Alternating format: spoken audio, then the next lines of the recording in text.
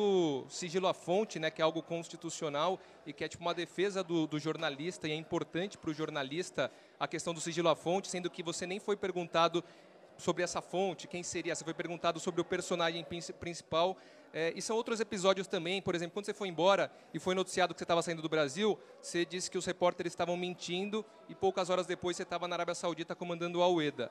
Quando você voltou para o Brasil, você elogiou a imprensa da Arábia Saudita em detrimento da do Brasil, sendo que a Arábia Saudita é um país que nunca teve eleição direta para o principal cargo executivo, tem uma imprensa super censurada e restrita. E agora mais um episódio dessa questão é, da fonte, do sigilo à fonte, também é, da questão do, dos espiões que estão no treino do Corinthians. E eu queria saber de você, Carilli, é, primeiro para você esclarecer, porque muitos torcedores estão acusando setoristas de serem espiões para mandar um dossiê para o adversário. É, se você de fato chegou para a assessoria do Corinthians, tentou evitar né, que esses, essas pessoas que estão passando informação para frente entrassem no, no CT do Corinthians, e você chegou a conversar com essas pessoas, e por que essa relação com a imprensa, que assim, claro que a imprensa eh, tem milhares de defeitos, mas pelo menos em relação a você, eu sinto que ela te respeita e valoriza bastante. Por que essa relação é tão tumultuada com a, é, com a imprensa e com tantos episódios dessa maneira? Que bom você ter levantado isso daí, então minha resposta vai demorar bastante, eu ganho um jogo na Arena Corinthians de 1 a 0 de uma jogada de bola parada que eu treinei. E o, e o técnico adversário, meu amigo, fiz questão de no vestiário cumprimentá-lo. Ele falou assim para mim: "É fogo perder o jogo de 1 a 0 de uma bola que eu sabia". Mas como você sabia? Falou: "Fique esperto. Passaram". Quando eu chamei de mentirosa a imprensa e serviu para alguns, eu estava na Venezuela, jogo de 7 a 2, essa entrevista foi lá. No dia do jogo, teve setoristas que falou que eu já estava certo com o Hilal por um milhão e meio por mês e que o Rodriguinho já estava contratado.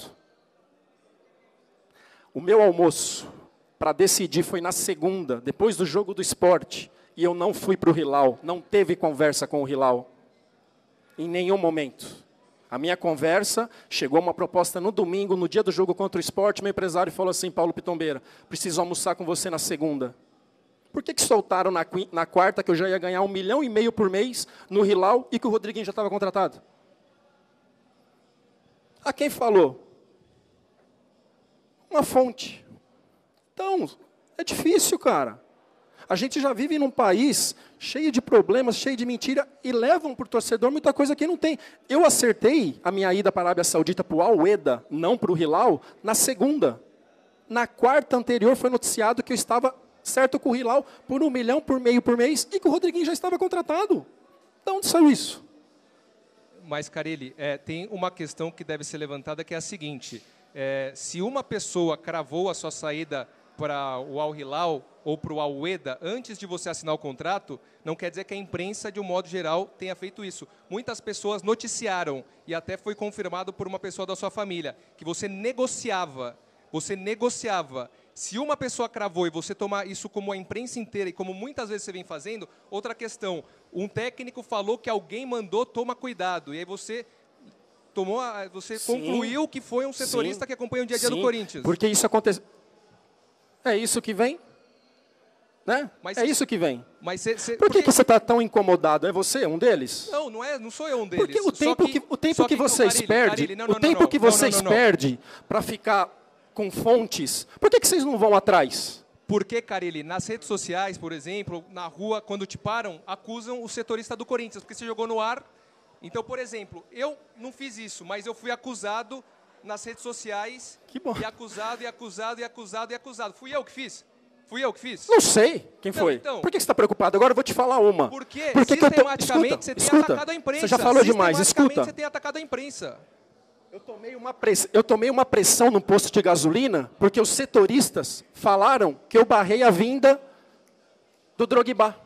Eu... E o assunto nem chegou em mim. Vocês tomam pressão, eu também tomo. Carile, Carile, não é verdade. Se você, se você pegar e fazer um compilado, o seu, o seu, o seu assessor vai pegar, vai fazer um compilado e vai ver como que foi a falar da vinda do Drogba.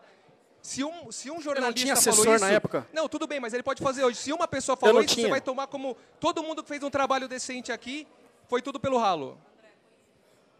Se equivocam demais, né? É, Desculpa, Karine. né? Se equivocam demais. também- Eu sei que você é um dos irritados. Eu não sei por quê. Tá- talvez, talvez a, a, a carapuça está servindo para você. Esse que é o problema. Pessoal, se continuar desse Sei. jeito, nós vamos ter que encerrar Bora. a coletiva, Segue. tá bom? Segue. Fábio. Eu não falei que foi você? Serviu? Serviu?